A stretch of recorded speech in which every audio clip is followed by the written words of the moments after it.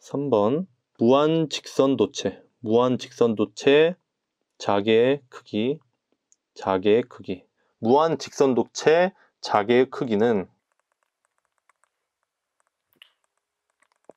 외워야 합니다. h는 2파이 r분의 i.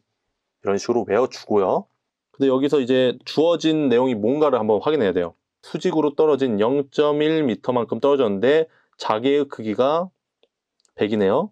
0.4m 떨어졌을 때는 자개의 크기는 뭐냐고 물어봤어요. 이러면은 비례 반비례를 써야 됩니다.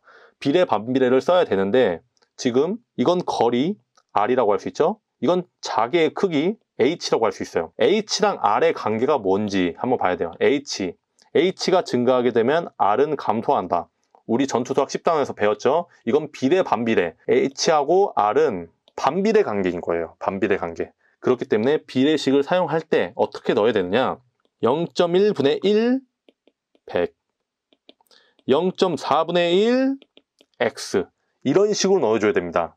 반비례 관계이기 때문에 R이랑 H가 반비례 관계이기 때문에 이런 식으로 대입해서 이제 내항의 곱과 외항의 곱을 같다고 넣고 풀어야 됩니다. 이거 두 개가 같죠?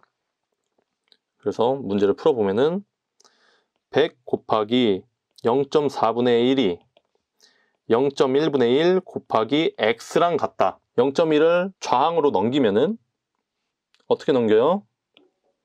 0.1 곱하고 여기다 0.1 곱하면 이거 이거 날라가니까 여기는 x만 남아요. x만 남겨야지만 x를 구할 수 있어요. 이런 식으로 되겠네요. 이거는 너무 계산을 할 수 있으니까 바로 해볼게요. 분모 분자에 10을 곱하면은 이거는 4분의 1로 바뀌죠. 이게 4분의 1이에요. 이게 없어지고 4분의 1 남았는데 4분의 1하고 100을 곱하면은 x는 25. 그래서 답은 25가 되겠죠. 2번. 수학 문제죠? 거의 수학 문제였어요, 방금.